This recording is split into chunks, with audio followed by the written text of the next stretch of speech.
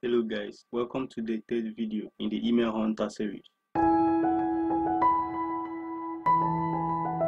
So in the last video, we built the link hunt where we extracted URLs from the website. So in this video, we will be building the email hunt where we extract emails from the website. So let's get started. So I'll just copy this down here because we'll be needing it. Then we import the URLs hunter we built the last time. So that is from link hunt. We import URLs hunter. So I'll go ahead and type, then I will explain what I did.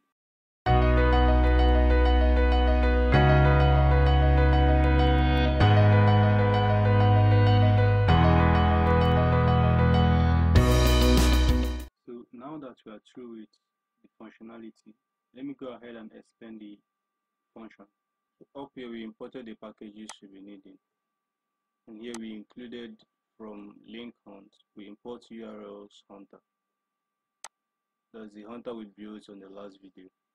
Then here we created an input for the user to enter the URL they want to extract emails from. Then they save it. We created a save as to save the email. Then here we call the function the URLs hunter function and give it a, an argument, which is this new email, new URL the user entered. So it, it goes ahead and extract the, the URLs, then stores it to this uh, URL list. Then here we created a deque list, and down here we created a, an empty set. So down here we created a while loop. So we are looping through the unscraped. Then here we we are popping off the queue inside the unscraped. So we are popping off from the left. Then we assign the value we popped up to this URL variable. Then we loop through the list URL. That's the list URLs here. So here we call the function and give it this argument, the new URL argument the user entered. So after the, the functionality have extracted all the links inside the website, it assigns this to this list URLs. So here we are looping through the list URL and we created this variable base URL.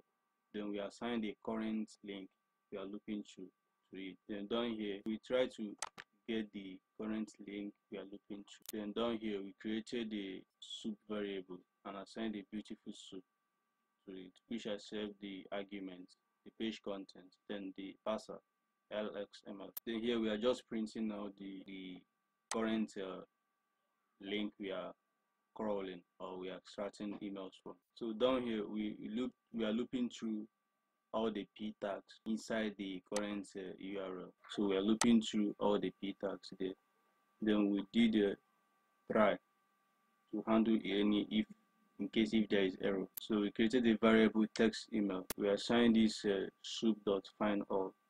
So we are checking for all the p tags inside the URLs. Then we are getting all the text that's inside the p tag. Then we, we find this uh, new email set.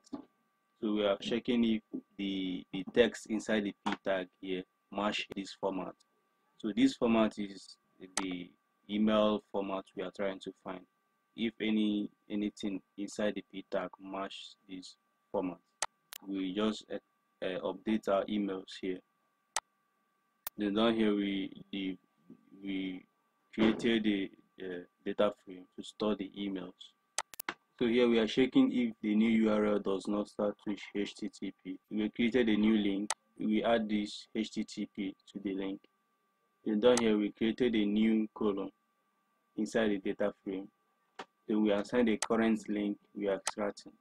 Then down here we are saving the CSV file to our current directory. So if the new URL actually starts with HTTP or HTTPS, so we come down here and create a URL then assign the new URL to it. Then we save to CSV then down here we checked if there is an error maybe a connection error or timeout error. Then we just pass then down here we actually repeated the same thing but for the a tags up here we did for p tags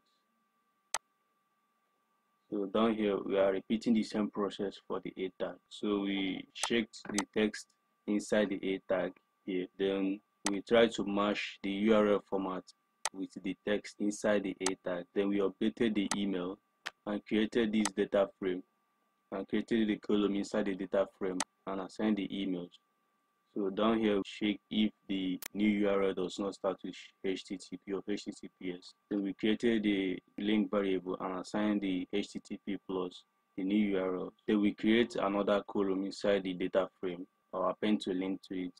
Then we save the data frame as a CSV file. Then if this condition does not apply, then we do else. We just create a new column inside the data frame and save to CSV then we check if there is an error then we pass. So down here we print the emails. So now that i'm through explaining the code let's go ahead and test if the code is working fine. So i'll pull over my terminal here and run the file. So i'll enter the name of the file email hunt file. So it's asking us for the url so i'll enter apexrise.com so i'll save it as apex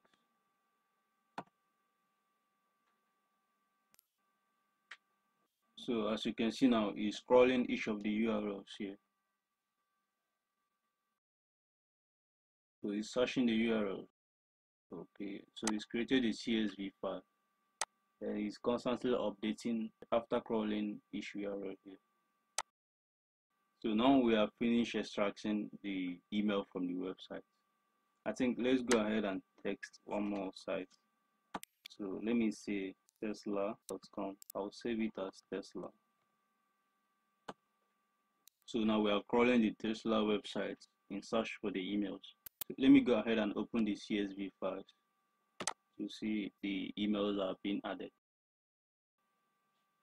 So now we are we are we just extracted the emails inside the tesla website which is very cool. So in the next video i will show you how to build this code that we just built into a web app using the Django framework. So I will see you in the next video guys.